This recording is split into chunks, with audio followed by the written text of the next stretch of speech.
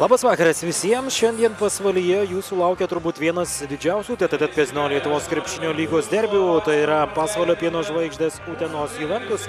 Šiandien ir reikėtų paminėti tą kitą tokį svarbų faktą. Utenos Juventus, prieš kai kalbėjo e, Žitrūnas Urbonas, tai gali būti mums naudinga. Jeigu dirbo fiziškai, tai surinko Vytautas Šulskis.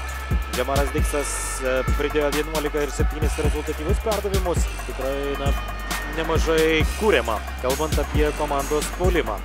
O čia rezultatyvaus perdavimo, taigi kone per pus mažiau taškų atkovotų kamolių statistika panaši.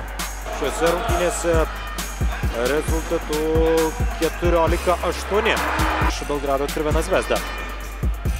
Derikas Lau bei Džamarą Diksą įdomi šiandien jų akistata tikrai padėtyje, jo labiau, kad Vasilius turbūt vienas na, geriausių nugarą krepšį žaidžiančių žaidėjų visoje.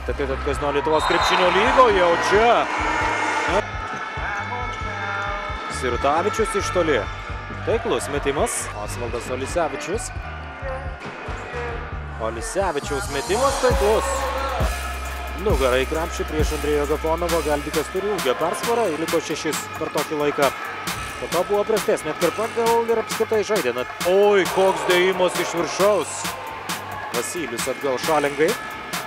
Šalinga Čiapukaičiui ir du taškai su pražanga. Na, prieš to kamolį dabar pieno žvaigždės, bet laisvų komandos draugų iki šio momento neatranda. 3 sekundės, Lau, na, dar turi pražangą rezervę, beje, Juventus. Bet šiandien pieno žvaigždės. Bet dar kartą Dainių Šalinga, Valdas Vasilijus ir dėjimas iš viršaus. Džemaro Dikso du taškai, bando statyti užtvarą, Džemaras Diksas. Dar viena užtvara, Diksas iš toli, trys taškai. Nevalda Žabo su kamuliu, vienas prieš vieną. Žabo prasiveržimas ir du taškai. Gražina kamuolį žaidimą Dainių Šalengą, gauna perdavimą ir blokas. Štai toks Stepono Babrausko blokas. 10 sekundžių iki atakai skirto laiko pabaigos. Lau su Balašovu ir dėjimas iš viršaus. Bet pratesimo metu netaip jau ir daug atsilieka nuo varžovų. Šulskis. Šulskis. Ir du taškai. Vytautas Šulskis.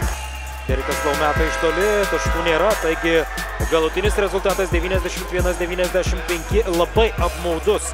Vieno žvaigždžių pralaimėjimas atrodė, kad pergalė jau kišenėje, bet sugebėjo Juventus pademonstruoti tiesiog fantastišką rungtynių pabaigą.